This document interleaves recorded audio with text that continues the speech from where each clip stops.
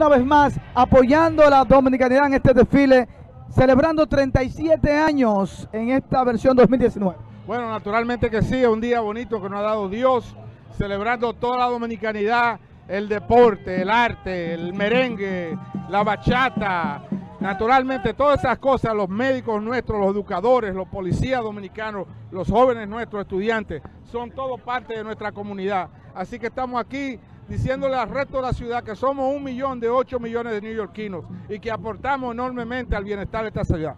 Adriano, qué bueno de ver que un congresista camine por todos los, eh, toda esta calle de la Sexta Avenida, que sea un dominicano que se faje con nosotros y conozca las inquietudes que tiene el pueblo dominicano. ¿Cuáles son las expectativas que usted tiene para República Dominicana en este año? Bueno, yo, yo espero de que el turismo se levante de nuevo. Yo estuve allá, viajé allá para enseñarle a todo el mundo que si yo voy, mi familia va, todo el mundo debe visitar la República Dominicana, que tenemos playas, ríos, montañas y valles que no, no lo supera ninguna nación del mundo. Y creo que el turismo debe levantarse y qué mejor manera que con la comunidad nuestra que empuja de abajo para arriba. Congresista, usted ha sido un fuerte crítico de la administración Trump sobre estos asesinatos que han ocurrido, 32 eh, latinos, eh, bueno, unos 22 latinos.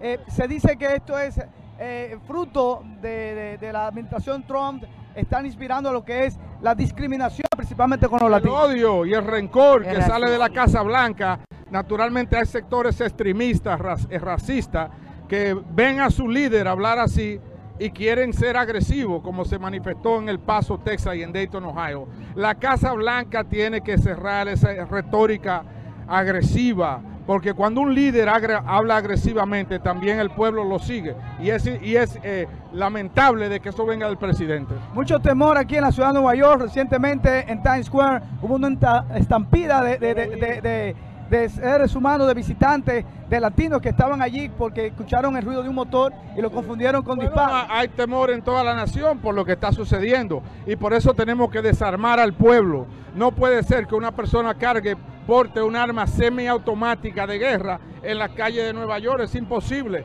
El presidente debe apoyar los proyectos nuestros que eliminan el porte de armas de ese tipo de índole.